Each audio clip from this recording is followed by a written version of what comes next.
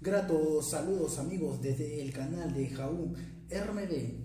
Hoy se llevó a cabo la octava jornada de la Liga Santander en el que Real Madrid se veía obligado a ganar ya que el Barcelona y el Atlético de Madrid se llevaron su victoria para sus respectivos clubes. El Real Madrid tuvo que reencontrarse con la victoria ya que llevaba dos empates consecutivos y tenía que ganar o ganar. El Real Madrid le metió una canasta de goles al Real Betis, que ya nada pudo hacer, por cierto, por el Real Betis, pero el Real Madrid es el Real Madrid y tiene mucha calidad en sus jugadores. Empezó Keylor Navas, que por cierto tuvo un buen partido, pero no tuvo que ver involucrado en el gol, ya que el gol más fue un error de la defensa. Estuvo Carvajal, por cierto, buen partido de Carvajal. Pepe muy participativo, muy activo y también muy colaborativo con sus compañeros, ya que tuvo que ver también en el gol de Isco. Pepe desbordando por las áreas y en esa gran jugada que tuvo que hacer Isco, Pepe fue pieza fundamental. También estuvo Barán, que estuvo reemplazando a Sergio Ramos. Como sabemos, Sergio Ramos tuvo una lesión con su selección y estará de baja por un mes y medio. Pero vimos que Barán hizo uno de los goles y tiene Barán mucha calidad y no nos podemos eh, desconfiar de Barán, ya que va a ser un buen cambio de Sergio Ramos. Eh, también vimos que Marcelo retomó el campo, ya que Marcelo regresaba de una lesión y vimos que Marcelo regresó con todo. Pero había unas ocasiones en las que Marcelo no le gustó arriesgar mucho, ya que no quería que su cuerpo, como venía de una lesión, no quería malgastar mucho. Pero gran partido de Marcelo que también tuvo que ver en el gol que anotó el Real Madrid, ya que por cierto ese gol que anotó Barán, recalcamos y aclaramos, que no fue fuera de fuego y tampoco fue gol con mano, ya que la pelota cayó en el hombro y pueden ver ustedes las imágenes. Estuvo en el medio campo Kovacic, Cross y Isco. Kovacic es un gran partido, muy, por cierto muy colaborativo, de, dándole vida al medio campo. Cross, un jugador que sabemos que ha renovado hasta el 2022, tenemos Cross cada rato, el jugador pasó todas las pelotas de gol, pasaron por los pies de Cross.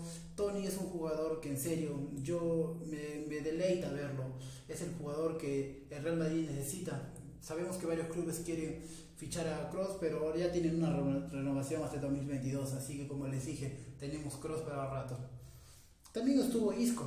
Isco que sabemos que no tuvo no tuvo mucha oportunidad anteriormente, pero luego tuvo otra contra el Eibar en, la jornada anterior, pero no supo aprovechar su oportunidad. Pero hoy Isco tuvo un gran partido y tuvo que ver en los dos goles, ya que esos dos goles yo creo que le van a dar más confianza. Y esperemos que Isco demuestre esa calidad en todos los partidos y que demuestre no en palabras y no genere polémica y que más eh, actúe en el campo. Vimos a un gran Isco en serio, me gusta ver este disco. Eh, un disco que es muy... Eh, no me refiero solo por los goles que hizo, me refiero más en la actitud en el campo, grandes pases, gran estilo de juego, grandes pases técnicos y gran gol, por cierto, de Isco en la escuadra. Uf, Isco, juegas así todos los días, juegas así todos los partidos, yo sé que tú vas a ser titular. Y en la delantera teníamos a la popular y a la muy conocida BBC eh, comandada por Cristiano Ronaldo, que por cierto hizo un gol que yo creo que Cristiano no puede estar sin anotar en los partidos, ya que Cristiano se pone un poco tenso cuando no anota, pero ese gol que anotó fue muy, muy buen gol, pero más, mucho mejor fue el, pase que le dio Álvaro Morata, que ya entró en el segundo tiempo, para que Cristiano anotara el segundo, el, el sexto, sexto gol y muy buen gol de Cristiano. Puedo resaltar que Cristiano está recuperando su nivel. Y como también les vuelvo a decir y les reitero siempre, Cristiano no tuvo pretemporada y ya veremos al mejor Cristiano. Bebes, eh, Benzema. Benzema estuvo muy activo también y es, tuvo que ver en, el gol que anotó ya en el, en el segundo, en el primer tiempo. Pero Benzema es un jugador que siempre he dicho que tiene mucha calidad.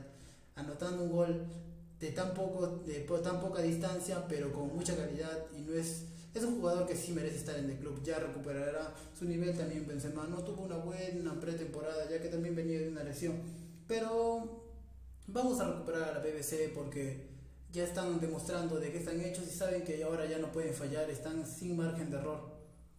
Lo que puedo resaltar de este partido es que Real Madrid se llevó una victoria muy merecida, por cierto. Pudo haber sido más la distancia de goles, pero el Real Betis eh, no pudo hacer nada más, por cierto. El Real Betis sí no, no tiene mucha calidad de jugadores, pero gran partido del Betis también. Hizo ese gol que quizás le dio un poco de esperanza, pero el partido ya estaba muy cerrado desde el primer tiempo. Bueno, esto es todo lo que yo les podría decir. Pues el siguiente partido del Real Madrid será en Champions la semana que viene y yo les estaré informando sobre las novedades y así que a disfrutar que el Real Madrid ya ha vuelto y ese es el Real Madrid que queremos ver todos. Un Real Madrid muy participativo. Nos vemos, no se olviden de suscribirse en este canal y hasta otra oportunidad. Chao, chao.